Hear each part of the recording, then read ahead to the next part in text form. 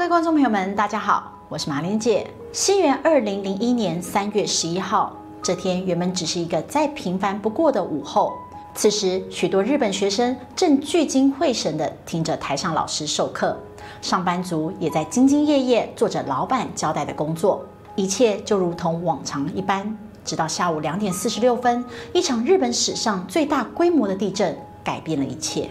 在一阵剧烈摇晃以后，许多日本人按照平时地震演习所学，撤离到了空旷的地方。就在大家以为自己即将平安度过危机的那刻，一波波巨大的海啸再次扑向日本。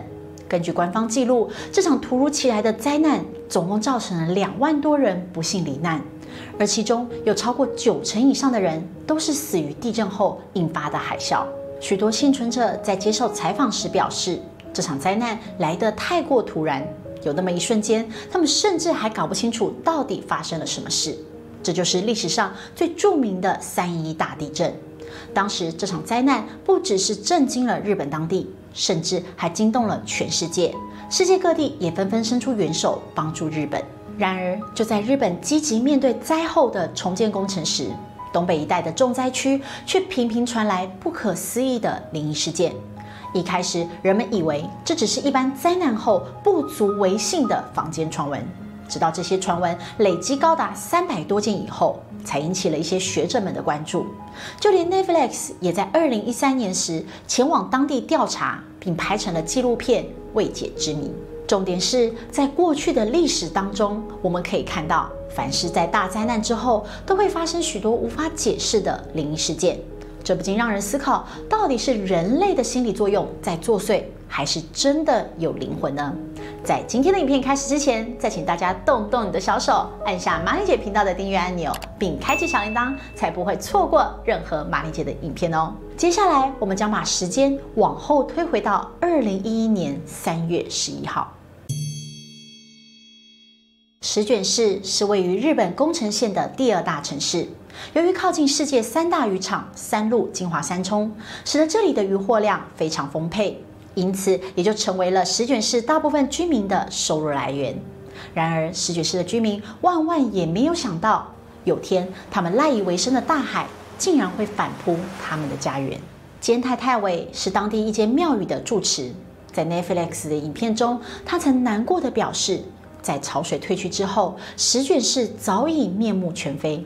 很多人都无法相信刚刚发生的事情。一些生还者拼命在寻找家人，有的找到了，但更多的是找到了逝去的至亲。这种打击使得生还者非常痛苦，毕竟他们还有好多好多的话来不及对至亲说出。然而，有这种感觉的可不只有生者。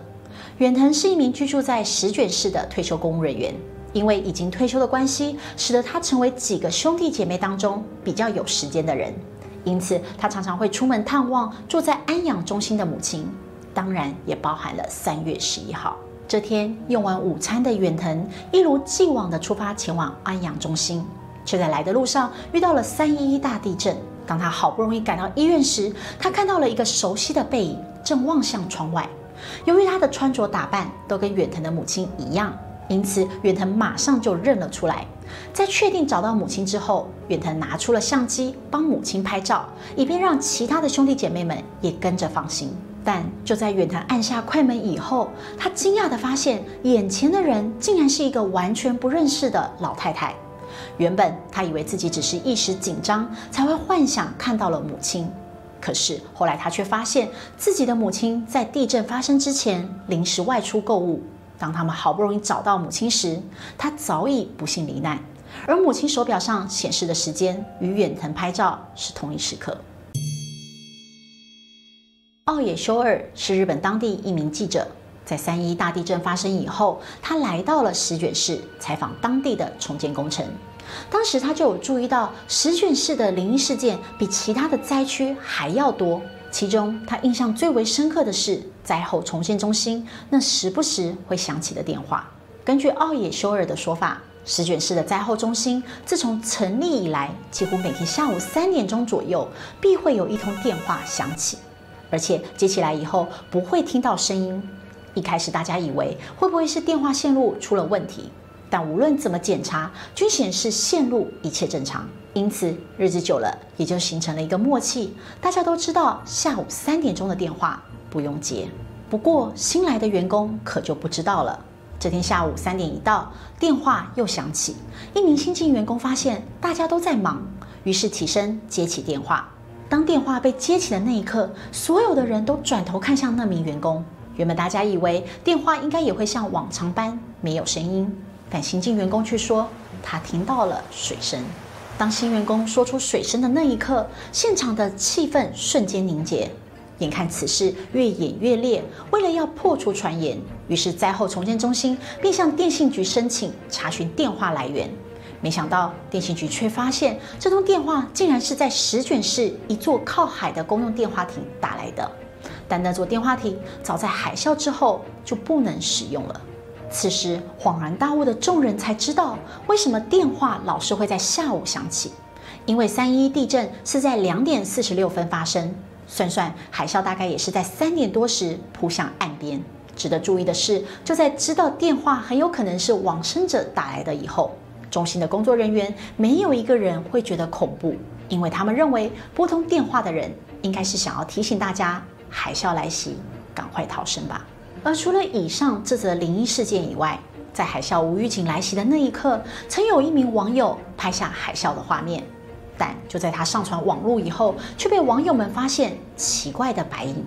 重点是，拍下这个奇怪白影的还不只有一位网友，另一名网友也在其他的影片中找到了这个神秘的白影。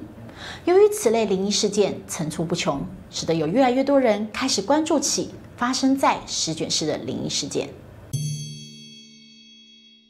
工藤优香是就读在日本东北大学社会学系的大三生，在一次论文选题时，他主动向教授提出想以十卷市的灵异事件写下一篇论文。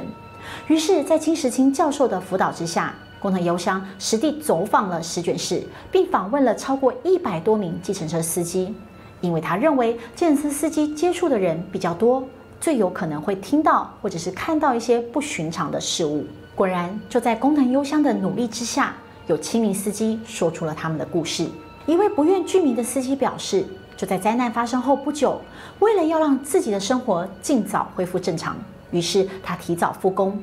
有天傍晚，他在石卷市的车站门口看到了一位小女孩伸手招车。由于小女孩的身边并无大人，于是当小女孩上车以后，他问了小女孩。你的父母亲呢？没想到小妹妹只回了一句“只剩我一个人”之后就不再发生。此时司机也感觉到怪异，于是转头查看，却发现后座根本没有人。另一名司机也表示，他曾在三一大地震之后载到了奇怪的人。那时候已经是八月，天气非常的炎热，但他却看到一位身穿厚重大衣的男子站在路边招车。上车后，男子说自己要去日和山，然后不再说话。当时司机并没有多想，就这样一路朝着日和山前进。但诡异的是，就在车子开到日和山时，神秘男子也消失在座位上。还有一位五十岁的司机告诉工藤优香，自己也曾在车站载过一名穿着大衣的女子。他一上车就说要去南滨。司机大哥一听，觉得奇怪。因为南滨是被海啸侵袭最为严重的地方之一，于是他好心告诉女子，自从海啸以后，那里已经没有住人了。你确定要去南滨吗？没想到女子竟然回说：“海啸？难道我已经死了吗？”司机一听，猛然回头，却看到了空荡荡的座位。工藤优香说道：“他认为计程车司机的灵异故事可信度很高。”因为在日本，司机每天需要将收到的车钱按照计价器显示的金额上交给公司，而其中真的有几笔车资是没有收到钱的，而这些车资最后也是司机们自掏腰包将钱付出。不过尽管如此，仍是有大部分的司机感性表示，如果还有下次，他们仍是会愿意再送他们一程，因为这是身为生还者唯一能为逝者做的事了。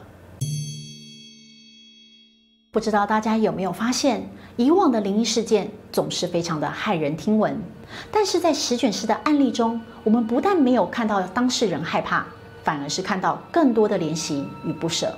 甚至在一些案例中，还有人因为遇到了灵异事件而走出伤痛。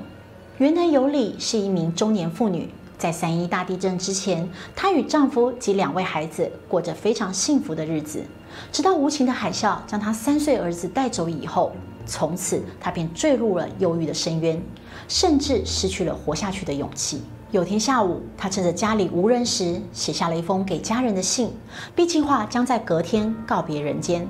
但就在当天晚上，一家人准备用餐时，三岁儿子生前最喜欢的玩具竟然无预警的开机了。可是这个玩具是需要手动拨动按钮才能开机的，而且当时玩具的周围也没有人，唯一比较理性的可能也就只有电路出了问题。但比起这种科学的解释，原藤有里更愿意相信是死去的儿子回来看他了。而自从那天以后，原藤有里也慢慢走出了阴霾，并重拾了对生命的希望，因为他知道死亡不是终点，总有一天他们一家会再次团聚。二零一九曾经有一项宗教调查发现，在日本有百分之二十九点五的民众相信有来生，百分之五十四的人相信灵魂的存在。而这之中，又有高达百分之六十四点九的人相信阴阳两界是可以在某种特殊时刻打破结界，重新连上。主持兼太太伟也曾经表示，人类的感官可以听到或者是看到一定范围内的事物，如果超过这个范围，就会出现个体差。此时，比较敏感的人就容易接触到另一个范围内的事物。而在大灾难来临时，更多的人不会去思考。反而是会去感受，就会容易看到或是听到平时不会注意到的事物，就有点像是当你专心做一件事情的时候，会忽然没有听到周围微弱的风声，但这并不表示此时没有风。当然，仍是有一些学者认为，十卷式的灵异事件是人们一时之间太过悲伤，所以更愿意相信灵界的存在，因为如果灵界存在，就表示他们的至亲仍未消失。这是一种人类自我安慰的保护意识。那么大家又是怎么想的呢？你认为灵界存在吗？你曾经有过类似的经验吗？欢迎大家留言讨论哦。